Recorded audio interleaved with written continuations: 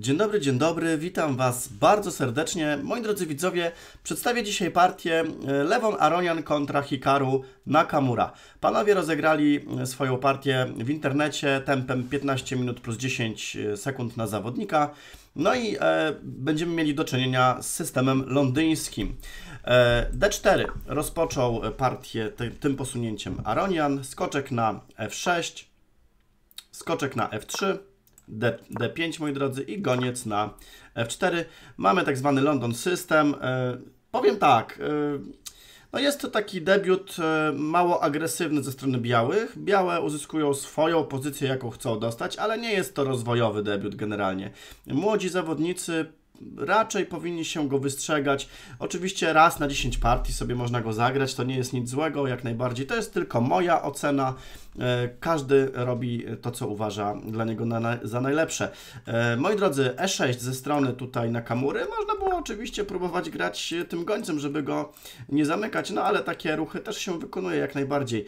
E3, sprawa normalna, goniec na D6, to też jest normalne posunięcie, które chce tego gońca od razu wymienić e, z F4 oczywiście. I teraz Aronian zagrał takie dosyć ciekawe posunięcia. On słynie takich, z takich ciekawych zagrań, niekonwencjonalnych, bym się tak wyraził, e, gdyż jest to ruch goniec B5. No dobrze, Daliśmy szacha na kamurze, jest świetnie, ale od ilości szachów partii się nie wygrywa. Dlaczego ten ruch jest dziwny? Gdyż dlatego, że tutaj można się po prostu zasłonić pionkiem i się nic nie dzieje, ale też nie dzieje się ze strony białych nic złego, jak się okazuje, gdyż goniec sobie może spokojnie wrócić na przykład na D3 i potem pionek i tak będzie musiał zagrać na C5, więc tak naprawdę tutaj tempa wbrew pozorom nie tracimy. Potem gramy C3 i tak dalej, jak to e, występuje w systemie londyńskim. Skoczek na D7 zagrał na Nakamura w ten sposób. No i C3. Posunięcie, e, które chroni króla to roszada. Skoczek z B na D2, normalna sprawa. Takie, e, te, w ten sposób figury tutaj się e, ustawia. Hetman E7. Zobaczcie, jak długo zleka Nakamura na przykład z zagraniem C6 lub A6, żeby tego gońca odpędzić. No czeka na to, żeby goniec wybił skoczka, na co się białe nie muszą decydować oczywiście. E, I teraz tak, po tym posunięciu hetman e7 białe podejmują taką decyzję, żeby jeszcze nie robić roszady. No ciekawa decyzja, bo tutaj widzimy, że, znaczy widzimy, no też zakładamy, że tutaj czarne w ten sposób chcą grać y, pionkiem na e5 i rozwalać centrum. Jest to zrozumiała sprawa, dlatego też białe przeszkadzają w tym, w tym planie i zagrywają skoczkiem na e5.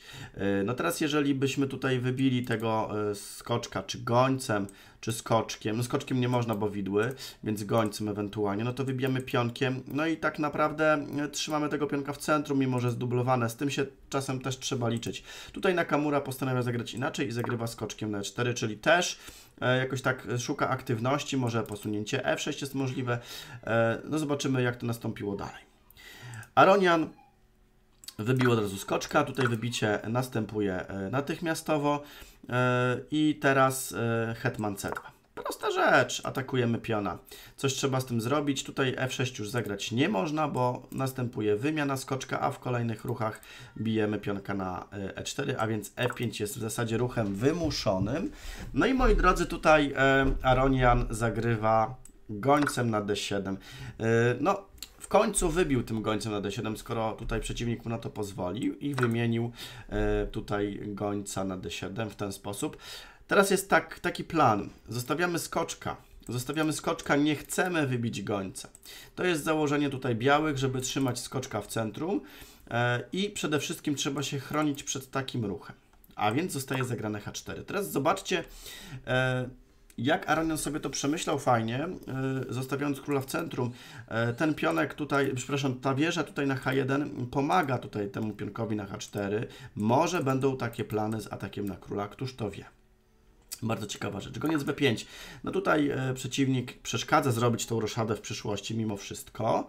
E, I posunięcie A4.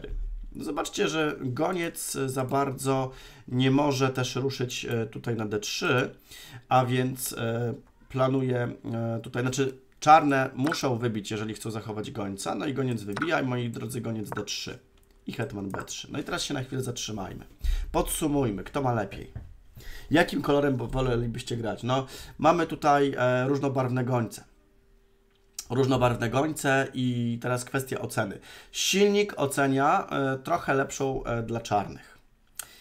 W sumie nie wiem dlaczego nie zgadzam się z silnikiem, pewnie się mylę, ale jakbym miał porównać, który goniec jest silniejszy, to wybieram białego gońca, dlatego że on tutaj bardzo fajnie strzela w te diagonale i stoi w samym centrum. Też jest przydatny, do, yy, przydatny w obronie w razie czego. No ten goniec wprawdzie teoretycznie też jest silny, nie pozwala zrobić roszady, ale białe nie są zainteresowane roszadą. Można zrobić roszadę na raty na przykład. E, też ten goniec strzela w puste miejsca, no również ten, ale ten patrzy na króla. Moi drodzy, następne ruchy, jakie nastąpiły, to E, B6 e, i posunięcie bardzo ciekawe F4. E, taki ruch się bardzo przydaje, dlatego że bić w przelocie za bardzo no nie można. Znaczy można to zrobić, ale bicie na F3 i tutaj pozycja białych jest wyśmienita. Król wskakuje na F2, wieża wskakuje na G1 i jedziemy na przeciwnika, pionek H5, pionek H6 i tak dalej. Więc bicie w przelocie nie wchodzi w grę, w grę, także ruch F4 jeszcze bardziej to pokazuje, że dominacja gońca jest naprawdę niezła. E, poza tym król tutaj ma też furtkę na F2, to jest też bardzo istotne. I posunięcie H5. Nakamura e, po prostu stara się zablokować mocno to skrzydło, może i słusznie. E, I król zagrywa na F2. Król H7, no to takie ruchy w zasadzie bez większego namysłu można wykonywać. Wieża H3. Zobaczcie, fajny plan e, przerzutu wieży na G3 i ataku na G7. No, dosyć logiczne. G6 zagrywa od razu e, Hikaru i wieża G3. No i teraz pytanie, czy e, czarne nie boją się, przepraszam, białe nie boją się stracić pionka na H4? No teraz tak. W tym momencie oczywiście zbić na H4 nie można, bo wisi wtedy pionek na E6, ale generalnie takiego pionka raczej bałbym się wziąć czarnym kolorkiem, dlatego że ta wieża potem może mieć dobre układy na H1 i tutaj króla, na króla patrzymy. Mimo, że pionki stoją, to jakaś, jakieś poświęcenie może tutaj nastąpić e, w tym układzie figur. C5 zagrywają tutaj czarne i moi drodzy wieża G5. No jest taka blokada mimo wszystko na tego piona, ale też wieża zwalnia prawdopodobnie prawdopodobnie tutaj miejsce dla drugiej wieży i może się robić groźnie. Król H6, ale niekoniecznie. Zobaczmy, co było dalej. Król H6, moi drodzy. Pionek wybił tutaj na C5, BC. No, pozycję lekko trzeba otworzyć, bo bez tego ani rusz. E, I C4. Tutaj białe nie pozwalają przede wszystkim czarnym zagrać takiego posunięcia, żeby przygwoździć. Zagrają, grają tak, żeby też mieć tutaj diagonalę bardziej otwartą i dla gońca, i dla hetmana w razie czego. Wieża F7. Nakamura przyjmuje tutaj e, pozycję obronną, no bo co może zrobić więcej tak naprawdę? Nie, nie ma żadnej kontry dla czarnych.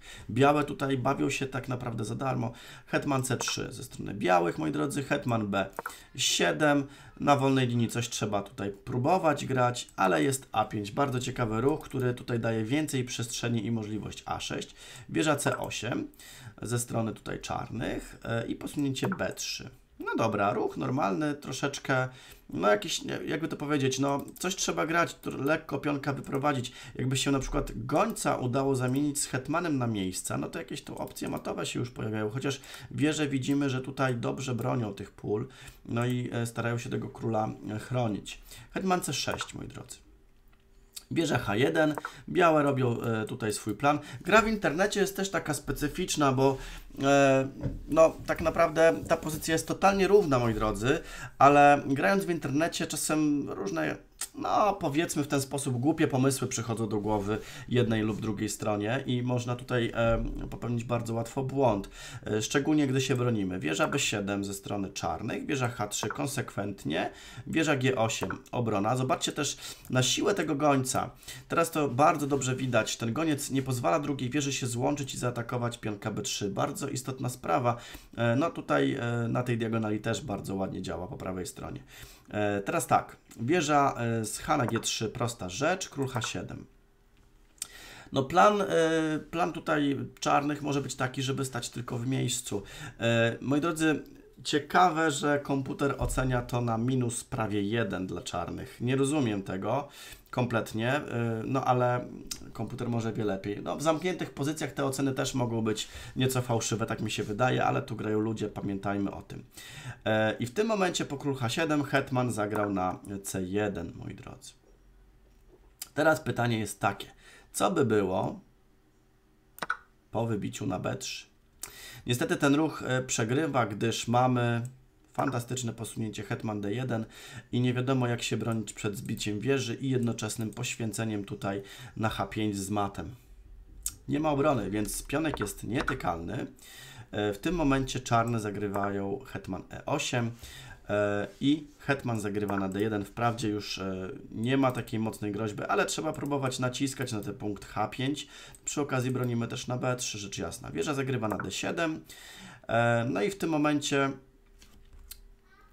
też moi drodzy, zastanówmy się, co można by było zrobić, bo po wieża d7 i e, posunięciu, e, tak, wieża D7 to jest błąd, przepraszam najmocniej, wieża, wieża D7 to jest kluczowy błąd, zaraz do tego dojdziemy, tylko pokażę opcję, jak tutaj czarnymi utrzymać tą, e, tą równowagę.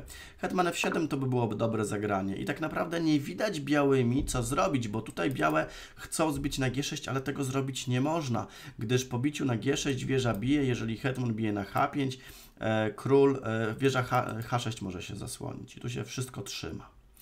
E, teraz tak, e, no tutaj można by było próbować zagrać goniec A1 z planem, żeby przerzucić hetmana na diagonale, to też za, za wiele nie daje, no ale na przykład po ruchu A6, gdzie to wszystko się ładnie blokuje, no nie widzę lepszych ruchów, tak komputer też w zasadzie nie widzi i to jest totalnie remisowa pozycja, można powtarzać te posunięcia, grać w kółko w ten sam sposób. No cóż, ale wróćmy do pozycji mm, już tutaj dramatycznej, gdyż e, wieża D7 wydaje się dobrym ruchem, niestety ten ruch przegrywa, moi drodzy. Pewnie już się domyślacie, że jest to poświęcenie na G6. Tak, tak trzeba grać. Wieżą tutaj zbić teraz nie można, bo jest hetman H5. E, jest koniec partii, nie można się zasłonić, gdyż hetman nie jest broniony na E8, więc hetman musi tutaj wybić na G6, wieża wybija e, i wybija król, żeby bronić na H5. No dobra, mamy pozycję taką, że jest hetman na dwie wieże i różnopolowe gońce. W tej sytuacji, gdy wieże nie są ze sobą skoordynowane, no to jest duża słabość dla czarnych, a białe mają fajne przesłanki ku temu, żeby tego króla fajnie atakować, gdyż e, no nawet prosty plan, taki powiedzmy e, hetman na H1, hetman H3, hetman G3, są takie możliwości. Tylko nie jest to takie proste oczywiście, może też po diagonali działać. Zobaczymy jak tutaj sobie Aronen radził. Najpierw król G1, bardzo ciekawy i mądry ruch, gdyż król się bardziej chowa, hetman może szybciej przejść przez G3 ewentualnie. A3, przepraszam, A6 i król H2, wieża B7 moi drodzy. Hetman zagrywa sobie na A1. Na diagonale e, zostawia w ogóle tego pionka podbiciem. Tak też się dzieje. E, I hetman przemierza przez A4. Tu piony nie mają znaczenia. Przede wszystkim hetmanem chcemy się dobrać do czarnego króla. To jest istotne w tym wszystkim. Wieża zagrywa na B1. E, hetman D7, moi drodzy, i tu się robi bardzo gorąco, grozimy wzięciem pionka, ale goniec jeszcze zbija na C4 i broni. Jest hetman E7.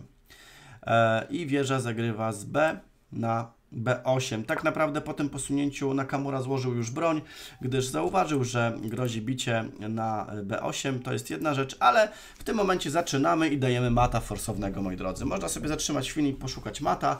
Ja już pokazuję rozwiązanie, to jest dosyć proste. Hetman F6 szach, król H7, hetman F6, F7 szach, król H6 i goniec na F6. Nie ma obrony przed matem. Na przykład jakby tutaj wieża zagrała, mamy szach, wieża bije i którymkolwiek pionem zbijamy z matem, partia się kończy. No podsumowując, moi drodzy, system londyński jest e, takim twardym debiutem. E, białe może wyczekują trochę na błąd przeciwnika, taki bezpieczny troszeczkę debiut, ale dla juniorów nie polecam. Nie jest to rozwojowy debiut tak naprawdę.